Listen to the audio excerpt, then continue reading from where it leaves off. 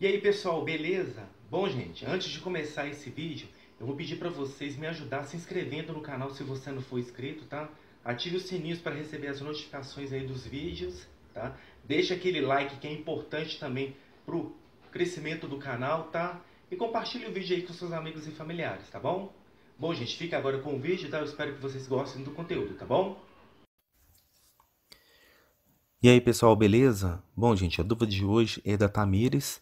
A Tamires ela informa que a sua sobrinha mexeu no seu S8 Plus e todos os seus, e todos os seus aplicativos ficaram enormes. Como que ela faz para voltar ao normal? Bom, Tamires é muito simples, tá? Com certeza aí a sua sobrinha ativou o modo fácil, ok? Então para a gente estar tá desativando esse modo fácil, é só você seguir o passo a passo que eu vou falar para você, tá? É que com certeza vai resolver o seu problema, tá bom? Primeira coisa que você vai fazer, o Tamires, é em configurações do seu próprio aparelho.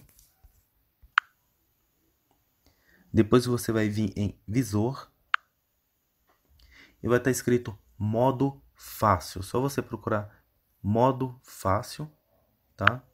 E desativar, ok? Quando você desativa, o seu telefone vai voltar ao normal como, ela é, como ele era antes, ok? Bom, sua dúvida foi essa, espero ter tirado a sua dúvida, a dúvida de outras pessoas também. E até o próximo vídeo.